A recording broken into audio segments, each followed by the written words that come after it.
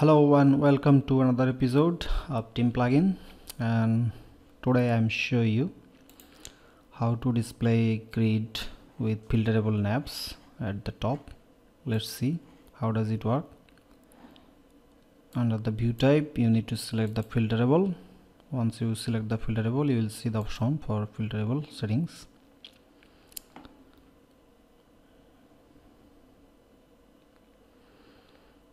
and here is the setting for filterable. You can hit the filterable navs number items number of items per page. Let's set 3 you can set navs font size margin font color background color for navs this is nav font color background color and active background color. And you can override the text for all deactivate default active filter.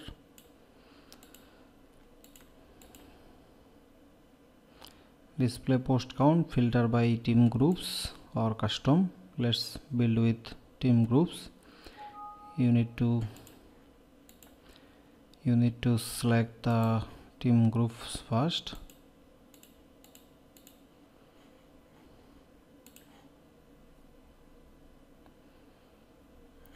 let's set the options.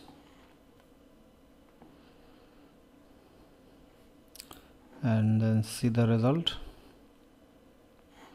You see the filterable navs at the top.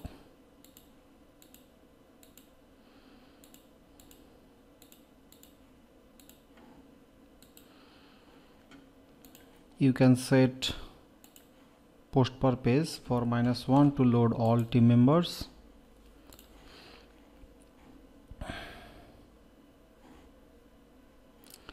basically we have selected all team groups so all team members already loaded. You can display the post count for each groups from filterable navs settings. Here is display post count yes.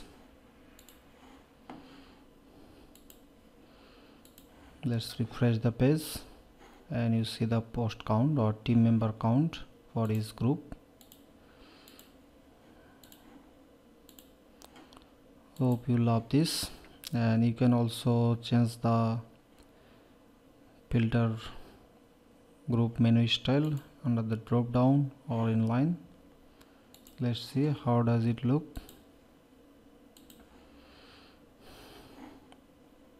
You see the filterable navs under the select or drop down. Hope you will love this and I will discuss how you can create custom filter group on later videos. Thanks for watching